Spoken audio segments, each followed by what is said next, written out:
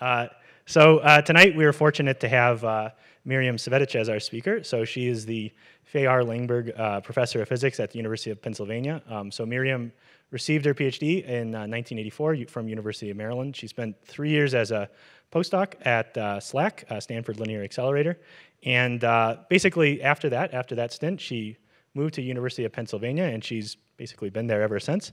So um, Mirjam is uh, regarded as an outstanding expert in many issues within string theory and consequences for particle physics and quantum gravity. Uh, so it ranges across a huge number of uh, possible subjects. I'll mention just a few that you know were of importance for me and when I was starting out as a graduate student. So for example, I was reading a lot of her papers on what are known as intersecting brane models, which relate to uh, making particle physics uh, scenarios, connecting all the way from very short distances to things you might detect at particle accelerators. And you know, since that time, I've come to appreciate many other facets of her work uh, that I wasn't even aware of at the time in graduate school. So um, Mirjam uh, has been elected a fellow of the Physical Society, American Physical Society since 2001. She won the University of Maryland Physics Distinguished Alumni Award in 2007. And uh, most recently, she was awarded a uh, Frederick von Siemens Research Award uh, from the Alexander von Humboldt Foundation in 2020. So she served as the editor for Physics Letters B for 20 years, starting going from 2000 to 2020 and uh, was recently appointed the lead editor of Physical Review D in uh, 2020. So, what, saying all of that, uh, it's a great. I'll, I'll, wind up now. um, so it's a it's a great pleasure to introduce uh, someone I consider uh, a mentor, a colleague, and also a friend. So please uh, welcome Mirjam Cvetic. Thank you. thank you, Jonathan, for this very nice introduction. Uh, and also thank you to you and organizers to invite me to give this public lecture. Uh, so the goal that I have is to give you some insights from geometry and string theory for features of black holes or our understanding of black holes and some aspects of particle physics. So the quest to understand and uncover secrets of nature in a geometric way has a really long history dating all the way back to Greek philosophers. Yes? Can you tell us about Maribor and Ljubljana? Well, uh, you know, I have to put, I have associations with uh, uh, other institutions uh, in my yeah, country. Maribor and in the University of Ljubljana. But I'm on sabbatic leave at CERN, so I put all those things. And for some of it, I actually have to put it as acknowledging uh, support from, from them. So anyway, with this digression, let's go to the real issues to uncover the secrets of nature. Uh, and so the geometric approaches have, as I said, a very long history by now dating all the way to Greek philosophers. And just to remind you, five Platonic so, uh, solids, polyhedra, were described at those times as five elements known at the time uh, of nature. Well, let's move forward to really more modern examples of such geometric links to nature. And the first one is Einstein's theory of gravity. And the second one is string theory, which is considered a prime candidate for unification of particle physics, namely electromagnetic, strong and weak forces of nature with consistent quantum theory of gravity. So in this talk, I'm going to highlight those geometric aspects precisely associated with Einstein's theory of gravity and string theory, and focus on implications for black holes and particle physics. I do want to apologize that some aspects of this presentation will be somewhat biased by emphasizing uh, efforts that were developed at Penn.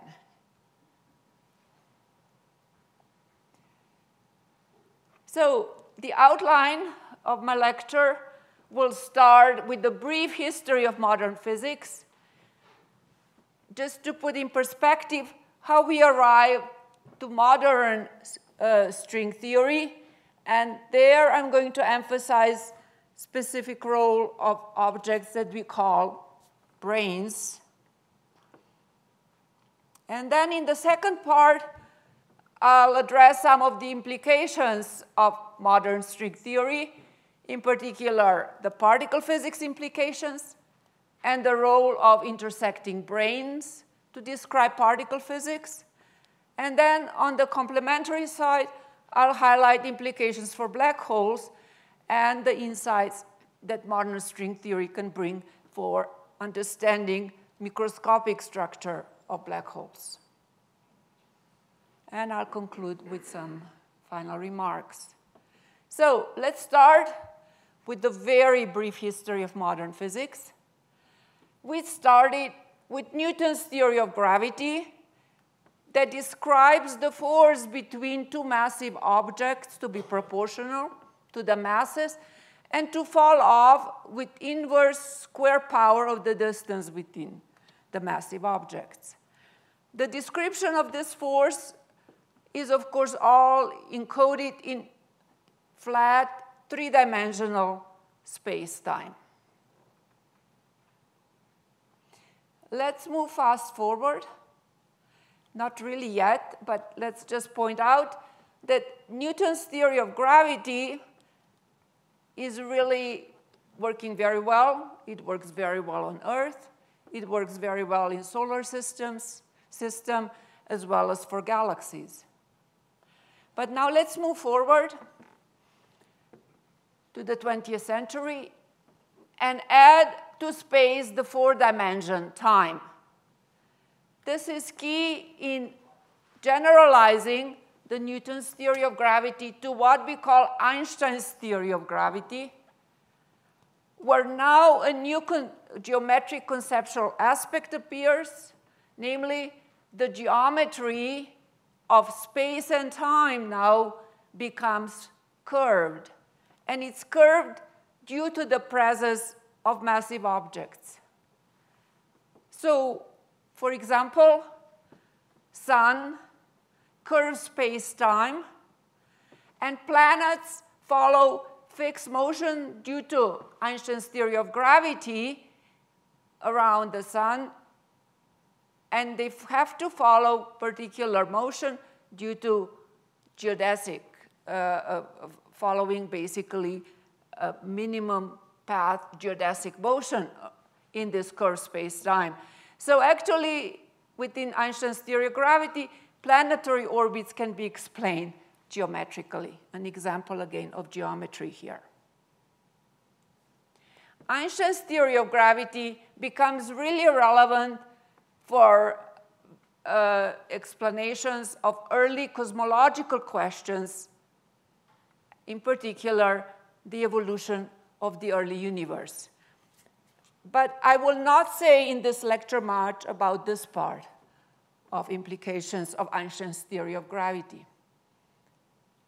I will emphasize the other aspects of Einstein's theory, namely, it predicts black holes that were quite dramatically confirmed in recent experiments. So black holes are very special objects which have very high mass density. And as a consequence, they curve the space-time so much that objects traveling toward it reach at some point a location of no return. So this location of no return we refer to as horizon. And objects can then continue to travel further and eventually, at least in Einstein's theory of gravity, hit a space-time singularity. So black holes, as such objects, have mass, they can rotate, they have angular momentum, they can also have charge. And as I mentioned, they are equipped with the horizon. A surprising property that was discovered in early mid 70s is that black holes actually behave as thermodynamic objects. We can associate entropy, a degree of disorder associated with black hole.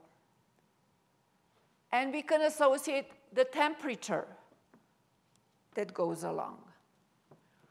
And interestingly enough, this thermodynamic entropy is described if we set lots of constants, lots of units to one, only with the area of the horizon, namely the area of the location of no return with the extra one quarter factor.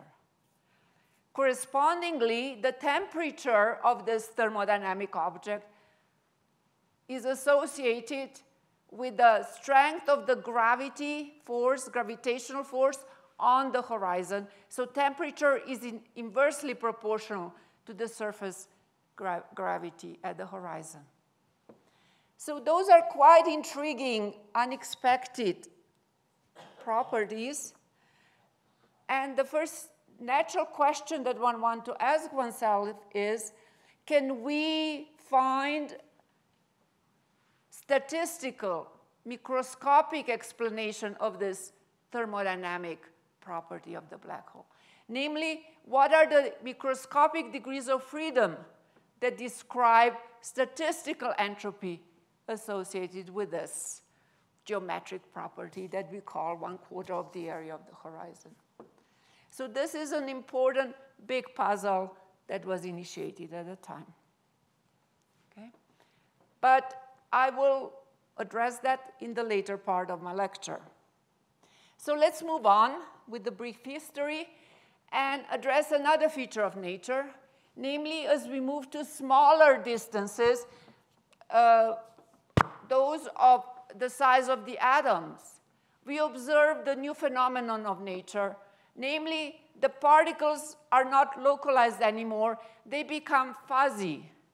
So for example, if we are looking at the excitation of electron in the hydrogen atom, it's actually those excitations are not localized in space, and we can only determine the probability density for electron to be at different excitation levels like this.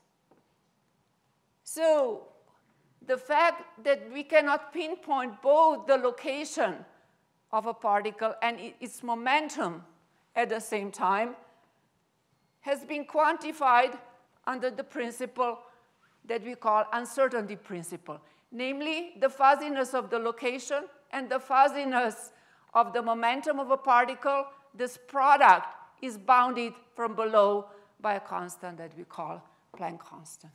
And this is the essence of describing quantum phenomena in nature, namely at much smaller distances and resulted in the birth of quantum mechanics.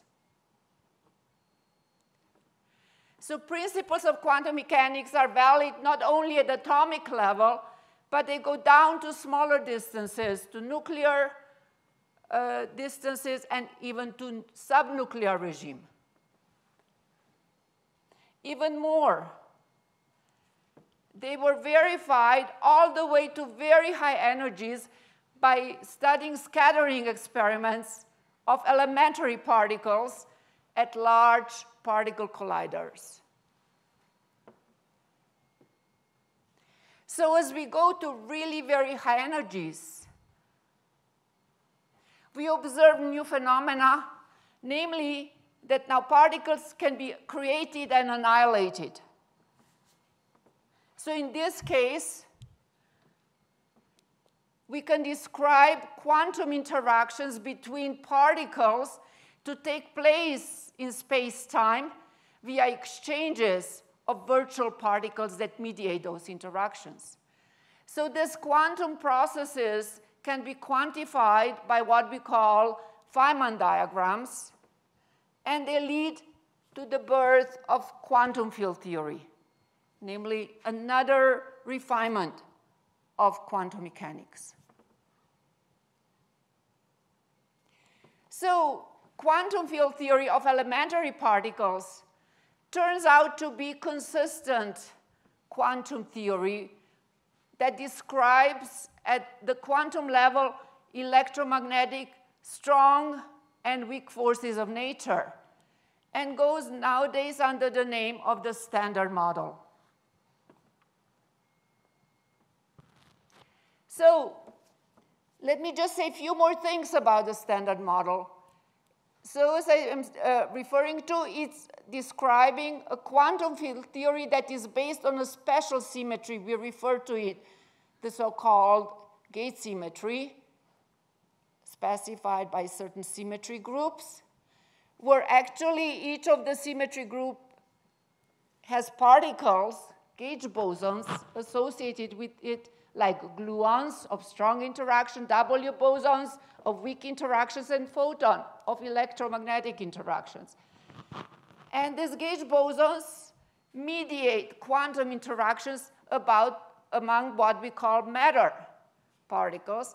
And those are our quarks and leptons, namely electrons and neutrinos, that are charged under this group symmetry.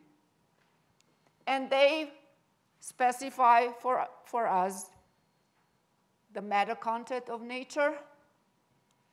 And they turn out to come in three copies. We call them three families. Standard model also has to include another particle, the Higgs particle, which is responsible actually for symmetry breaking of weak uh, electroweak unified force into just electromagnetic force, and at the same time is responsible for giving mass to matter.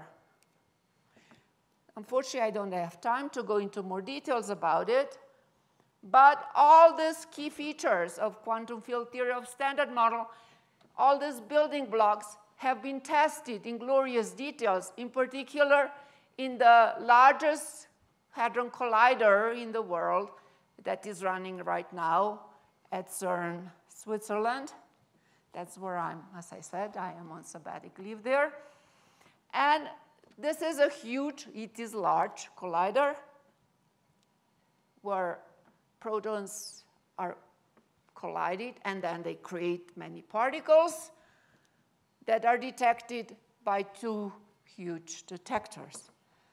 So the tests of those building blocks actually were verified at the state-of-the-art collider and culminated uh, just about 10 years ago with the discovery of the Higgs particle. Any questions so far? Have I lost you? Okay, now keep on going. So I try to argue that we have a beautiful, consistent quantum field theory of strong, weak, and electromagnetic forces that goes under the name of the standard model. So one would naturally want to ask oneself, how about quantum theory of gravity. Can we describe now gravity as a quantum field theory? And we, when we try to do that, we would introduce quantum particles called gravitons that would mediate quantum interactions with matter, particles that carry matter. Well, when we try to do this, we face a stumbling block because unlike the standard model, we encounter inconsistencies, namely infinities, that we cannot get rid of. So the naive quantization, making classical Einstein's gravity quantum, produces for us actually inconsistent quantum theory of gravity because of those infinities. So search for a consistent quantum theory of gravity is the holy grail of theoretical physics. So here now I would like to argue how this search is leading us to string theory. So to talk about string theory, we have to go to even smaller distances, where we start encountering not point-like, but extended objects. They extend a string, they have one extra extension, and they move in space and time. So where do elementary particles come from in string theory? They come as quantum excitations of those strings. So for example, matter or particles describing standard model would come special quantum excitations of strings. Well, how about graviton? The beautiful property of string theory is that graviton always appears as massless quantum excitation of strings. Okay? And the way we could see that is the observation that strings are extended. So the quantum states that come from strings depend on two sectors. One that depends on one combination of string coordinates and what we call left moving, and the other combination of string coordinates that we could uh, uh, call right moving sector.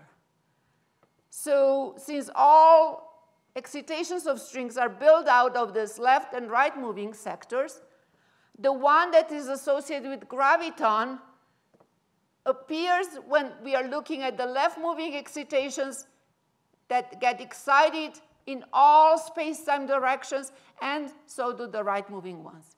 And we always have those excitations in string theory, okay?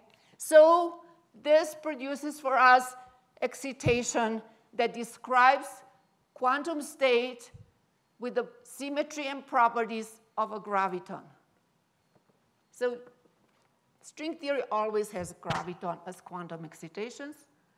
And so String theory contains quantum gravity, so that's good. That's why we want to study it. But now, let's study string theory that contains graviton as quantum excitation. So now we are describing interactions of strings, extended objects that travel in space and time, and their interactions are now associated with joining and splitting of strings. And the strength of these interactions will denote with the string coupling. This, is, this tells us how strong this effect of splitting or joining is. Now, because strings are extended objects, they interact now at extended location in space and time, unlike particles. So interactions are actually softer, less divergent. Actually, it turns out that these interactions produce no infinities. So this is a theory that at the quantum level is consistent with no infinities. And since it always contains graviton as massless excitation, string theory is a finite theory of quantum gravity. And this remains one of our primary reasons why we are excited about and study string theory. Well, this sounds all great, but there is a little hitch. It is a consistent quantum theory without those infinities, eh, anomalies, not in four dimensions, three space, one time, but actually in 10 dimensions, nine space, one time.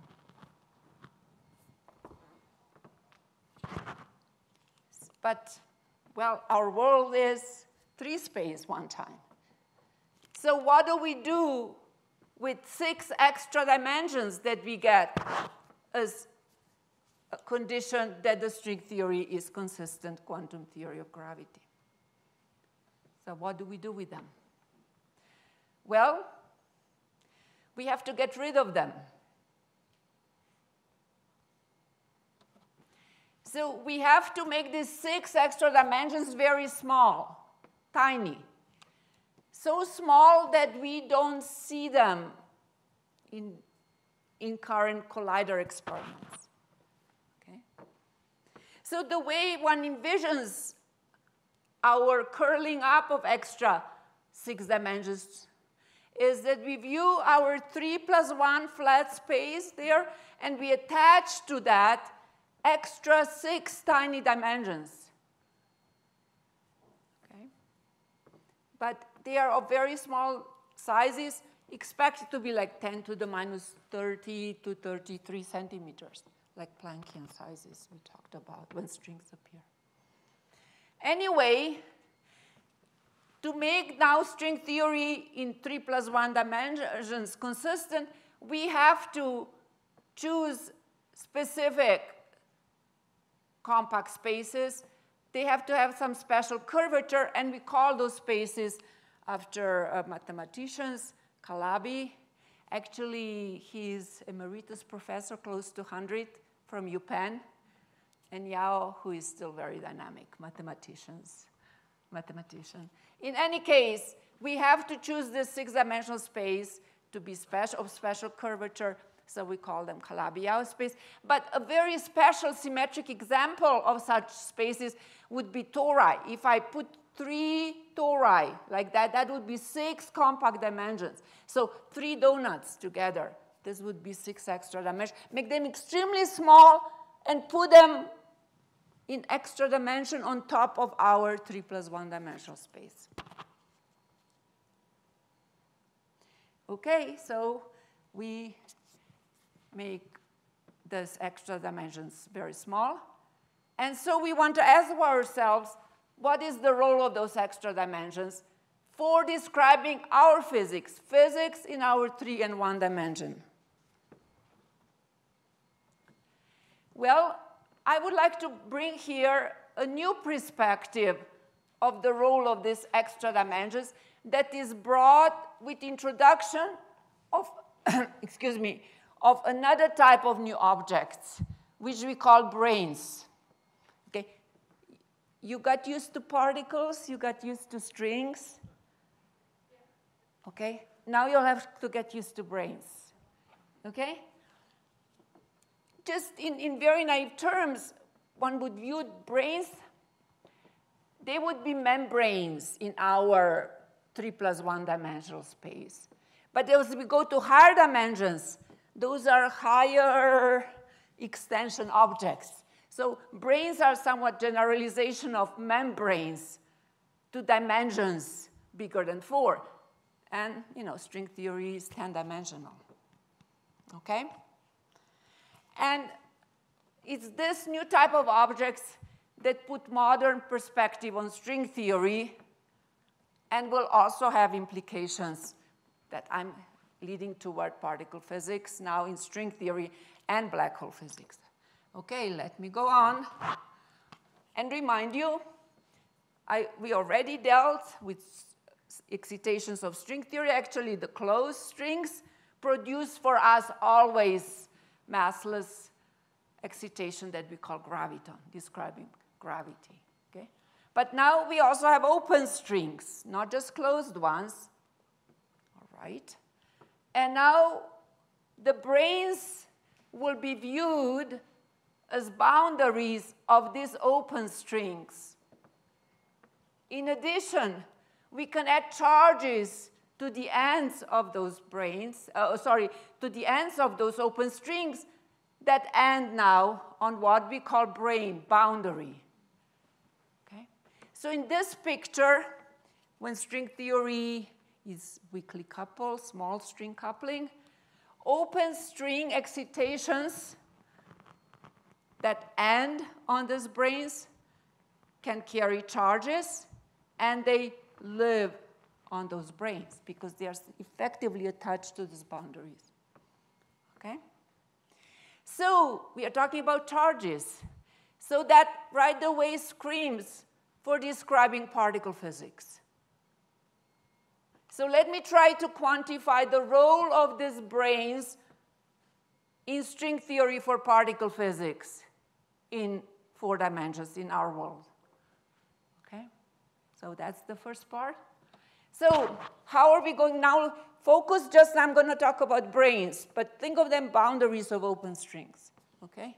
So these branes will fill out our three space and one time directions.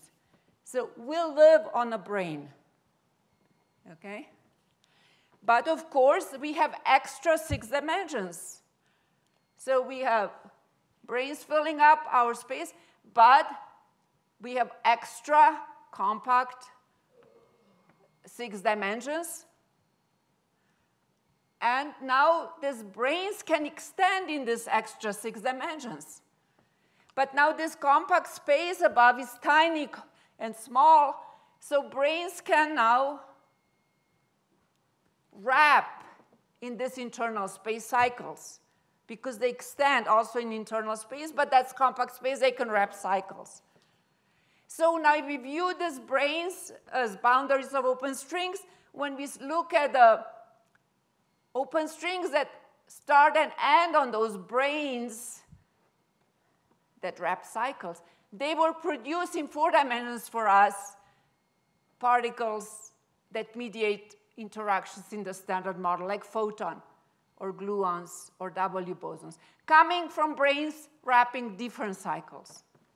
Okay? But now, in internal space, as branes, different branes wrap different cycles, they can intersect there. And at those intersections, a new phenomenon happens. Because now we can have open strings that start on one set of brane wrapping one cycle and, and on another set of brane wrapping another uh, type of cycle. And one can show that excitations that come from those strings that end on one brane and, and, uh, start on one brane and on another results in particles that we call matter, like quarks and leptons.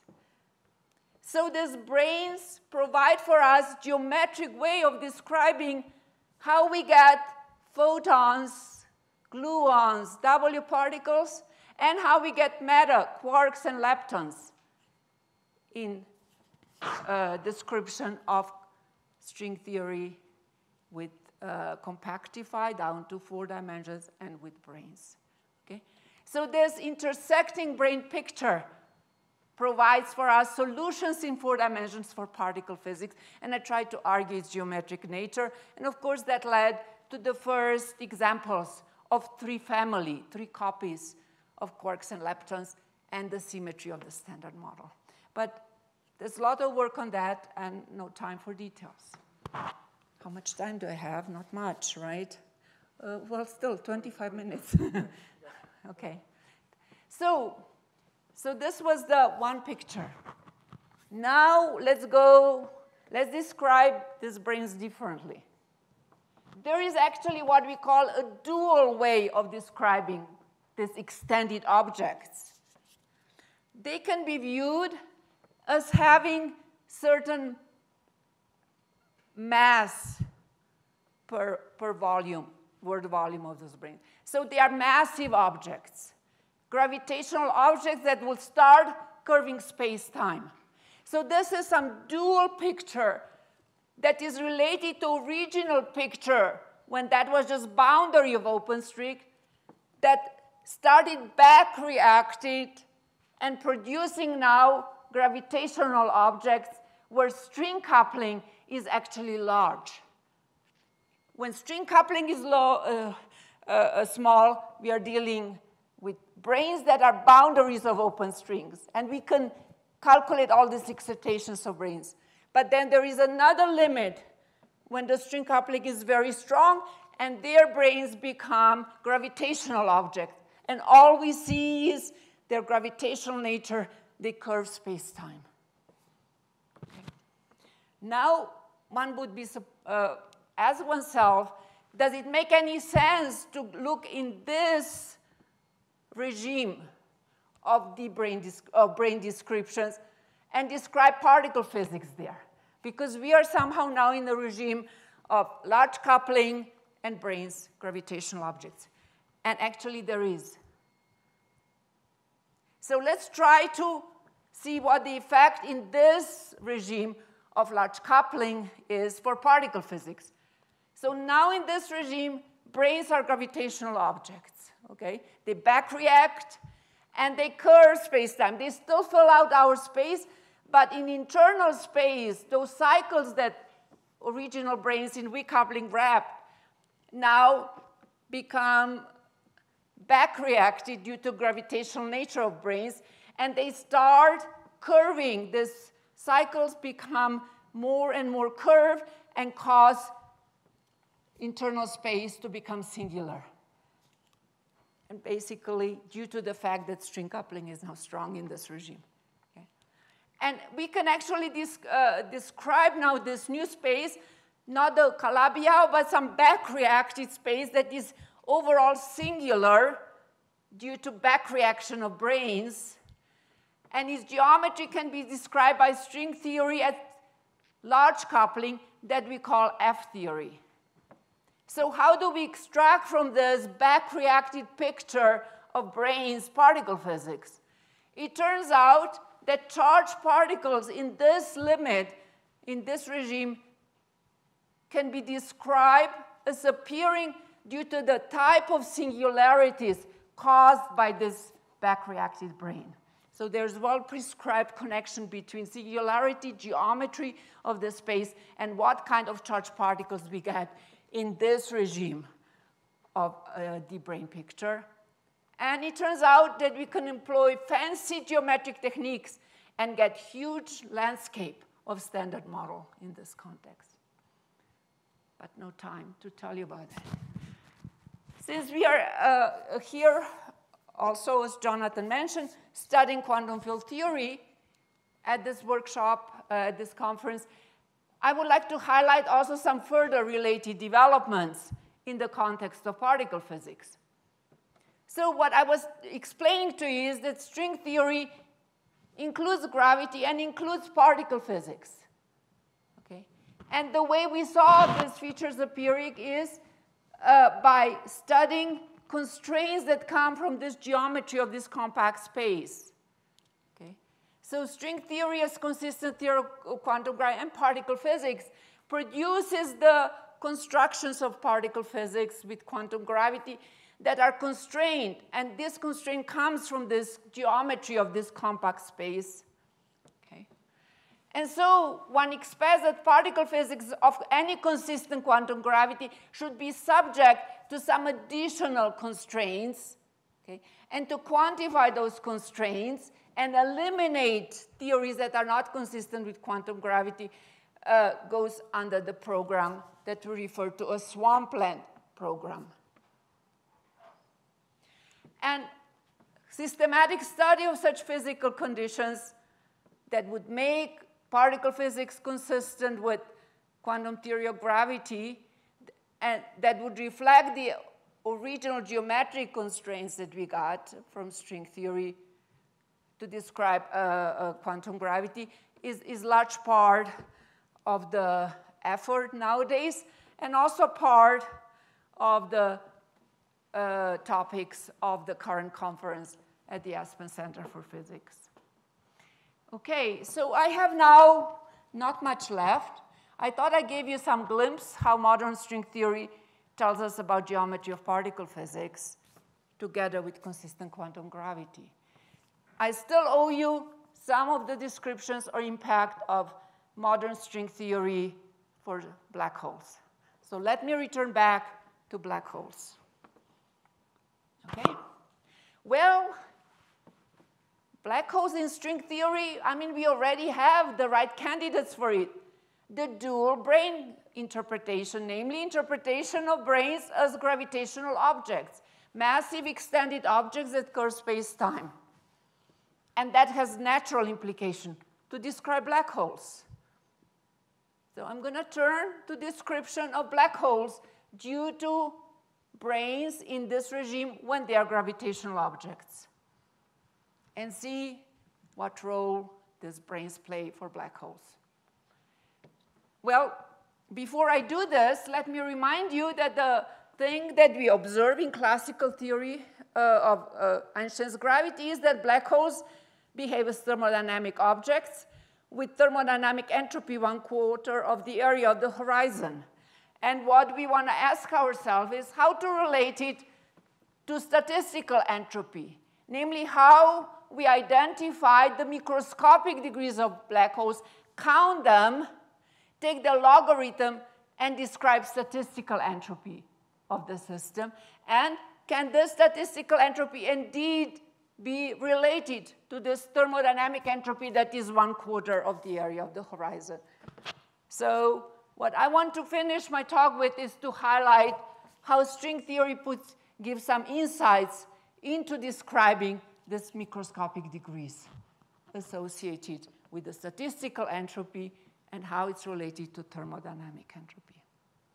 Okay?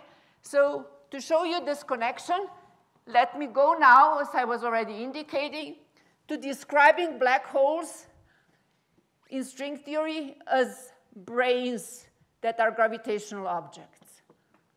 So branes as gravitational objects would wrap different cycles and back react, and we could view the cycles of in, uh, that, that branes wrap as intersecting ones. So we can view that again as intersecting branes in the gravitational limit.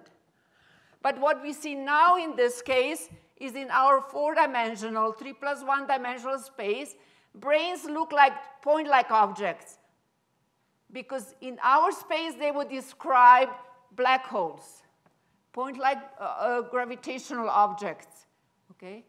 And now, because we have different branes wrapping different cycles in internal space, each of them, each of them source the effective charge of this black hole. So we could have branes made out of different charges associated with different type of cycles that branes wrap. Okay? And so one of these early black holes was studied a long time ago, actually uh, found a long time ago, and one was able to calculate the area of the horizon of this, that black hole multiplied with one quarter and get the thermodynamic entropy. It turns out that this black hole had finite horizon. Its area was proportional to the square root of the product of those four charges. And that was the actual result. So this is the gravitational side of branes and the type of black holes we get. But now let's go to the other side of branes where branes are boundaries of open strings. So let's go to weak string coupling regime. So we can also describe this phenomenon now as boundaries of open strings that trap different cycles.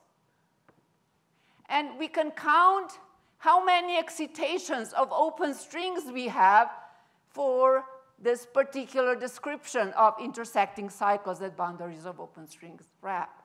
So one can actually precisely calculate the number of these degrees by looking at the string excitations, for example, that start on one cycle and end on the, another cycle of different branes. So this can be done precisely, and one can calculate the logarithm of these excitations that we get these excitations are actually at the energy level the same as the original mass of the black hole. So anyway, this counting can be done precisely, and it was done shortly after this paper, with the, uh, and the result turned out to give the precisely the same answer. So that was the beauty of having two dual description of branes and two ways of looking at black holes as gravitational objects, and in the dual picture, we see now microscopic degrees that we can calculate, and the answer gives us the same value. So this is actually a, a beautiful new conceptual insight that modern string theory and branes brought to us. I have to emphasize that the black holes I was mentioning are very special black holes. So this counting of microscopic degrees of black holes was done really for special ones, namely the so-called extremal black holes that have mass related to the charge. Mass is not independent. They are special symmetric black holes that have mass equal to the sum over those charges. We call them extremal black holes. But actually, the study of the microscopic picture of this black holes by this dual picture brane has been soon after formalized made systematic via what we call gravity field theory correspondence. Namely, one could study string theory in curved gravitational background and relate properties of this theory to specific quantum field theory that lives on the boundary of the space-time. So for microscopic study of extremal black holes, we can formalize things that I explained earlier by identifying for these extremal black holes the geometry, the space-time in the horizon regime of those black holes. And it turns out to be very special space-time with negative cosmological constant, which, which we call anti-de Sitter space. Okay? And we can now relate this geometry of the near horizon regime to the dual field theory, a special field theory, which we call conformal field theory, that lives on the boundary. So this quantification has been done and expanded for numerous other examples of black holes, not, not just this one that I mentioned, and pushed black holes in different dimensions and so on. Okay. It did even more. This correspondence between gravity and field theory has grown into a very broad field with numerous applications to systems that have strongly interacting field theories, namely our gravitational, can be described as gravitational systems, and those include many systems in condensed matter physics. Last but not least, the, the results that I was showing you are 20 year plus years old, but there have been many other important advances. In particular, recent studies of black holes have focused more on dynamic properties of black holes, namely late-time black hole evolution, entanglement entropy, dynamical things, and connections to information theory but all really primarily for extreme black hole. Never, nevertheless, this is a huge field, and I think this topics will be large topic of the conference next week here. But I don't have time to tell you about that, okay? but I want to say one more thing, just one more thing up my alley, okay? Which is asking oneself, well, I showed you how the branes, this dual picture, can explain internal structure of black hole, microscopics of black hole. But those were only special black holes, extremal ones. So you want to ask, in nature, we have different black holes that don't have mass equal to charge. Most of black holes don't have any charge. That would mean for extremal one, no mass, no black hole. We really want to study properties, internal structure, microscopics of black holes that have mass that is bigger. It's independent parameter, but mass bigger than the sum of those charges, and they can also rotate. Okay? So this is, of course, big outstanding question. Okay?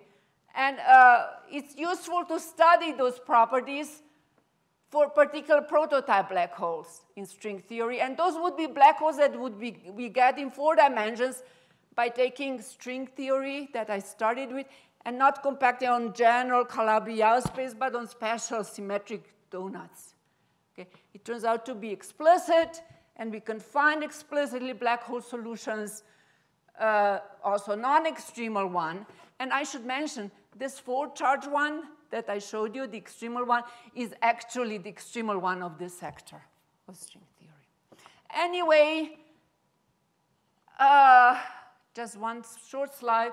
There, it's really very tantalizing that also those non-extremal black holes in string theory have very particular features. For example, if one studies their thermodynamics, it's very compelling and very suggestive that there must be some dual field theory description in terms of some conformal special quantum field theory in two dimensions. So just the structure of thermodynamics is screaming for that. But we cannot pinpoint the specific microscopic degrees of freedom. There were some attempts to put these black holes in what we would call bath box to extract this conformal dual theory feature manifestly okay, uh, without changing the fact that the black hole is non-extremal Okay, and there were some intriguing connections also to some two-dimensional gravity and condensed matter system, but really this is just something up my alley that, that I don't want to bother you with. The point is we are not there yet. Are not there. We cannot identify cleanly the dual structure, field theory microscopic structure of black holes that are non-extremal. Okay, so just a few concluding remarks. Okay. So I try to highlight some modern developments in string theory and point out insights that they shed on unifying origin of particle physics and quantum gravity.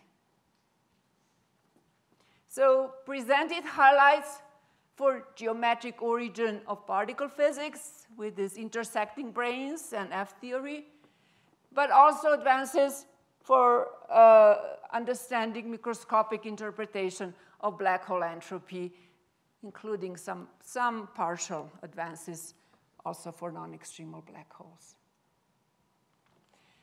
Well, I hope I have convinced you that we have gained some important insights into our quest to unify forces of nature, including quantum gravity, and that string theory plays a very important role there.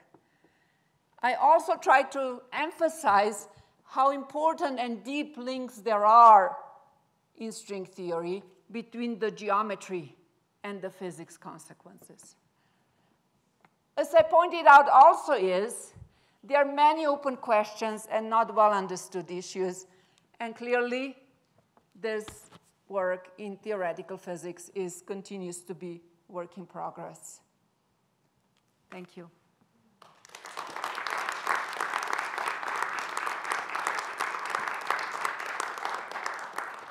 Okay. Thank you, Mirjam. Um, so we have some time for questions. So just, if anybody's got a question? Yes. Uh, Here, you want it, the mic? Uh, two questions. Uh, one is uh, about you said that the black holes have entropy, and um, since very early age we learned that entropy is always increasing, and the examples given are that uh, a broken egg cannot be put back together or perfume out of a bottle. Exactly. So how does uh, how do black hole geometry changes uh, as entropy increases? And this mm-hmm. the second question is uh, another great discovery of uh, or another feather in Einstein's theory of relativity has been the discovery of uh, gravitational waves uh, recently. And does string theory say anything about gravitational waves, or is there an mm-hmm. string theory interpretation of gravitational waves? Okay. Well, the first uh, question is, uh, um, this is the second law of thermodynamics, that actually this order gets only worse as time. Uh, so one has to study um, dynamical processes, right, in this context. And Bekenstein was doing precisely that. He was adding more mass to the black hole and see what happens to the entropy as one is doing with that. And he always found that this this object that I call entropy really has the property that it always increases. So, uh, of course, you know, there are beautiful things called uh, first law of thermodynamics, how the change in mass is related to change in entropy, all these quantities, they perfectly work. All these complicated black holes all follow those rules and satisfy this property. Okay? Yeah, the second thing, gravitational waves, they are consequence already of the classical theory of gravity, of Einstein's theory of gravity. So string theory reproduces that at the quantum level, right? So per se, this is really more verification of the limit of gravity that is consistently described by Einstein's theory of gravity. But as the studies of precision measurements with gravitational waves over the next decade will improve. We hope that we would see new things that would point to deviations beyond Einstein's theory of gravity. And there's also a lot of work. So what would be further things that could be characteristic of phenomena that could come from string theory and could be only detected as we go to more precision. Thank you. Questions for Mirjam? Yeah, there's one in the back.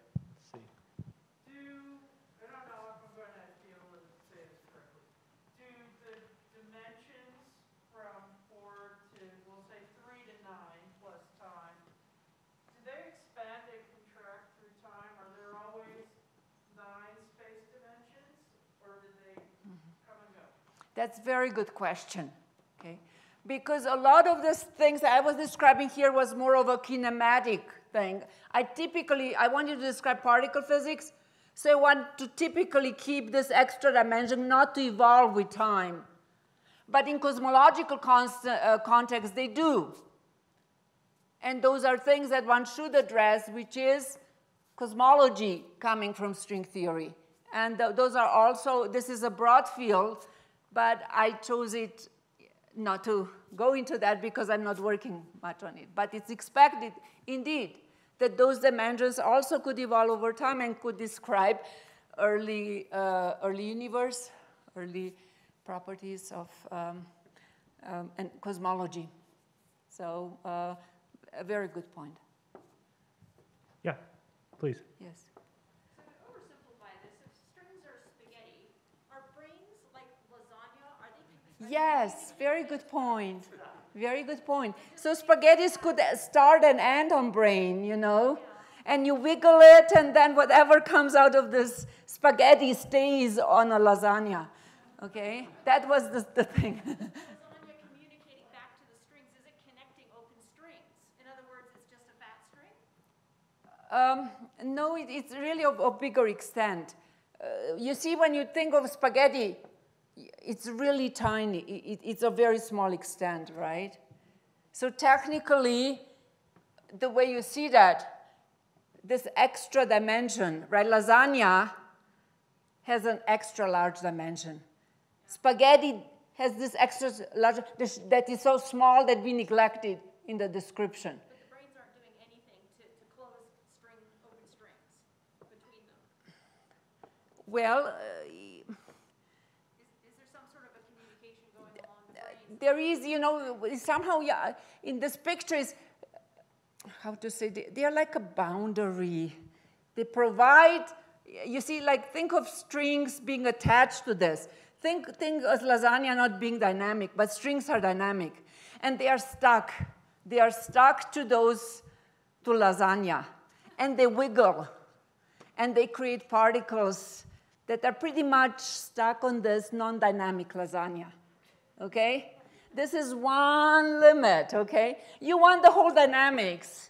That's complicated. I went to another extreme where I make this brane all dynamic, right? But I forgot the string sort of disappeared because coupling was so strong, you know. It's, so this is, but, but uh, the analogies you're drawing are really perfect analogies, and you're asking a hard question that we cannot completely solve, which is in between. In between is always hard it's on the, on the extremes that we have the techniques in physics. Okay.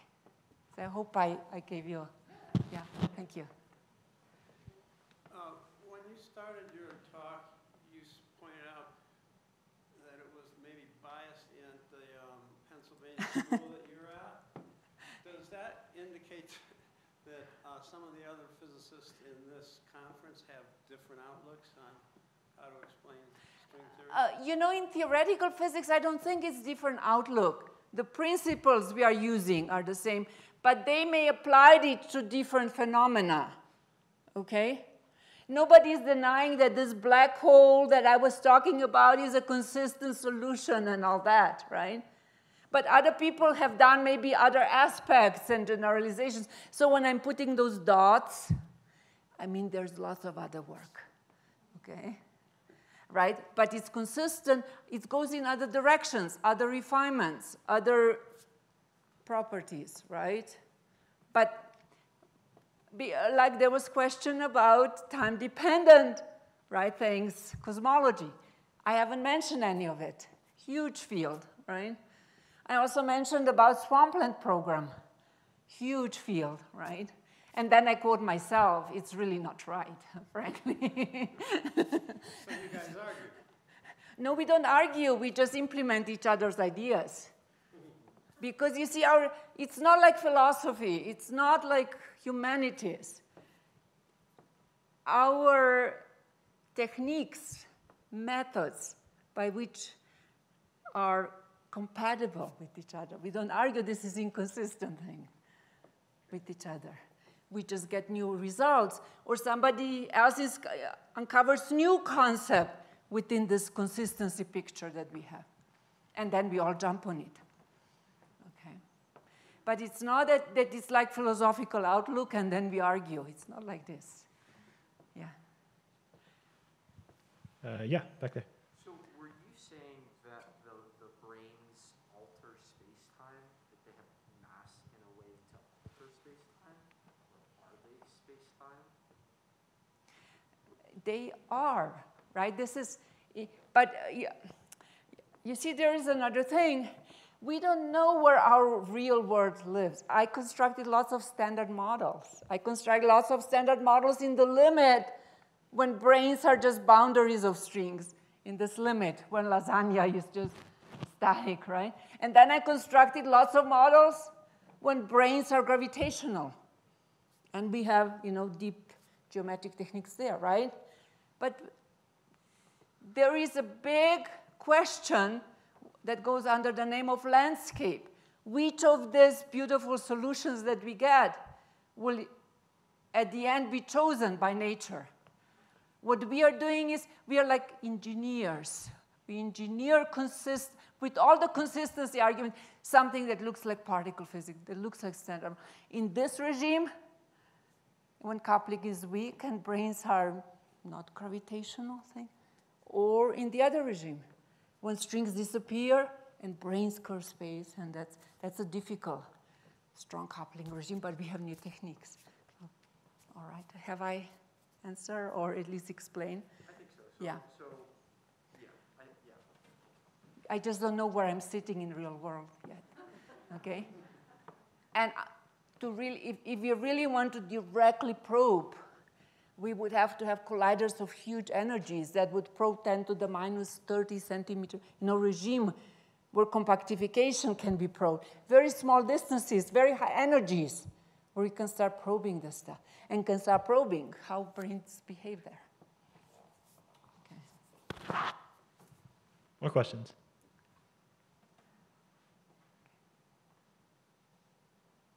Yeah, Yes. over here. Did you say you are currently at CERN? I'm on sabbatic leave, yes. Yes, for this year. What is that experience like? Well, you know, it's, it's a bit tainted because of COVID, unfortunately, like experience for all of us in all facets of our life.